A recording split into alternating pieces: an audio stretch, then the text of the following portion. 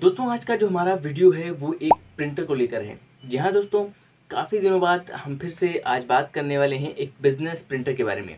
अच्छा आपको कुछ मेरे सेटअप में थोड़ा सा चेंज लग रहा होगा, जैसे कि यहाँ पर ये बोर्ड ये बोर्ड हमने इसलिए लगवाया है कि अगर कोई भी चीज़ आपको फ़ोटो स्टूडियो या फिर बिज़नेस टॉपिक से रिलेटेड समझानी है, या फिर मुझे बारीकी से उस बात को बताना है तो मैं इस पर आपको डिस्कस करके बता सकूँगा। इसलिए मैं इस बोर्ड को लगाया हूँ और बहुत जल्द ही इसका यूज़ होने वाला है। तो चलिए, आज का जो वीडियो है, वो स्टार्ट करते हैं। आज के प्रिंटर के बारे में बात करते हैं। कौन सा है प्रिंटर सबसे पहले मैं आपको बता दूँ कि जो प्रिंटर है, एक बिज़नेस प्रिंटर है ऑल इन वन प्रिंटर है ए फोर साइज़ प्रिंटर है और बहुत ही कमाल का प्रिंटर होने वाला है। तो चलिए वीडियो को शुरू करते हैं और जानते हैं क्या है इसके प्रिंट स्पेसिफिकेशंस क्या है इसकी क्वालिटी और क्या है इसका प्राइस एक एक टॉपिक के बारे में बात करेंगे, इसलिए वीडियो को एंड तक ज़रूर देखिएगा। चलिए, वीडियो को शुरू करते हैं।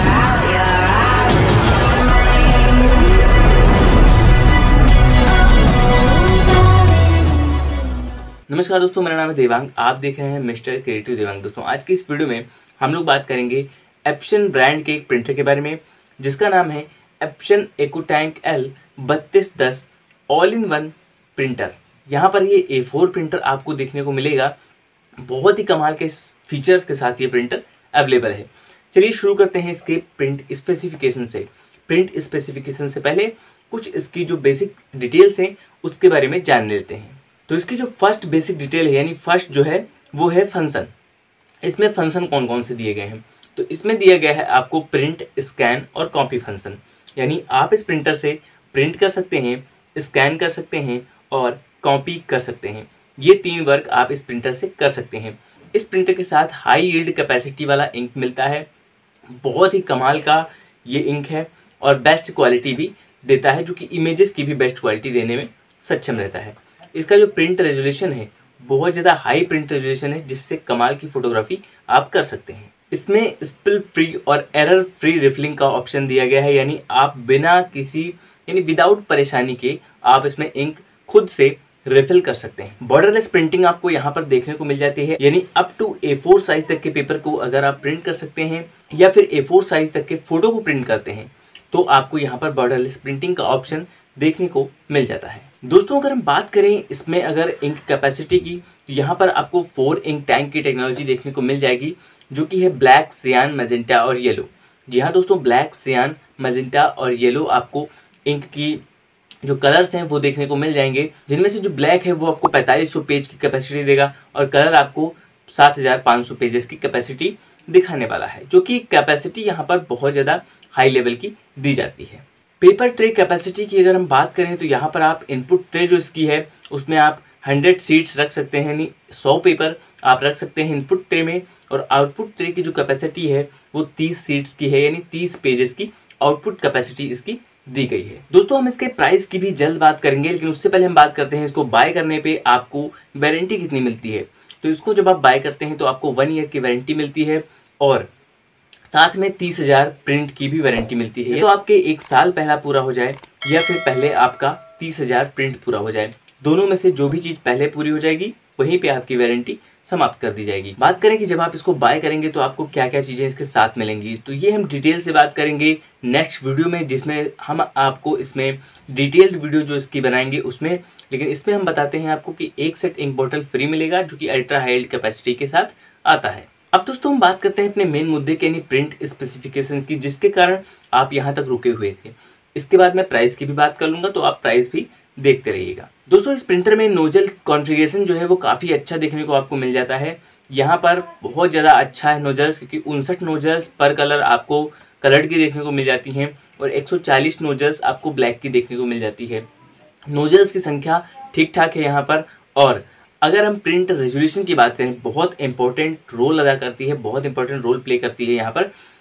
प्रिंट रेजोल्यूशन तो आपको यहाँ पर सत्तावन सौ साठ इंटू चौदह सौ चालीस टी का print resolution high print resolution देखने को मिल जाता है, जो कि आपको एक mini photo studio mini photo lab बनाने में काफ़ी मदद करेगा। बात करें अगर हम इसके प्रिंट स्पीड की तो यहाँ पर अगर आप फोर इंटू सिक्स साइज़ के फ़ोटो को प्रिंट करते हैं तो आपको लगेंगे सिक्सटी नाइन सेकेंड्स यानी उनहत्तर सेकेंड में अप्रॉक्स उनहत्तर सेकेंड के आसपास आपका जो प्रिंटर है, वो फोर इंटू सिक्स साइज़ के फ़ोटो को प्रिंट करके दे देगा, जो कि हाई क्वालिटी में प्रिंटिंग दिखाई जाती है। बात करें अगर नॉर्मल फ़ोटो प्रिंटिंग की यहाँ पर तो यहाँ पर आपको ए फोर साइज़ का अगर आप ब्लैक एंड व्हाइट पेपर में प्रिंट करते हैं तो यहाँ पर आपको तैंतीस पेपर पर मिनट आपको देखने को मिल जाएगी स्पीड और अगर आप कलर में नॉर्मल ए फोर पेपर पे प्रिंट करते हैं तो आपको पंद्रह पेपर पर मिनट की स्पीड देखने को मिल जाएगी, जो कि काफ़ी अच्छी, काफ़ी हद तक बहुत बेस्ट क्वालिटी की स्पीड आपको देखने को मिलती है।